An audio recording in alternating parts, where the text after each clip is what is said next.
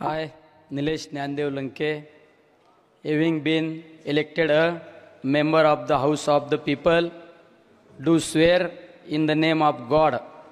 that I will bear true faith and allegiance to the Constitution of India as by law established that I will uphold the sovereignty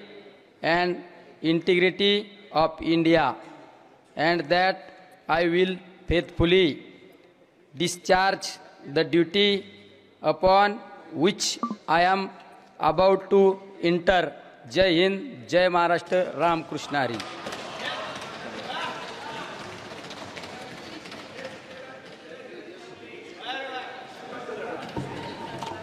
ये न-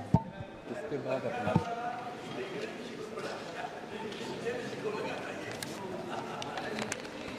श्री भाव साहेब राजाराम वाकचौरे।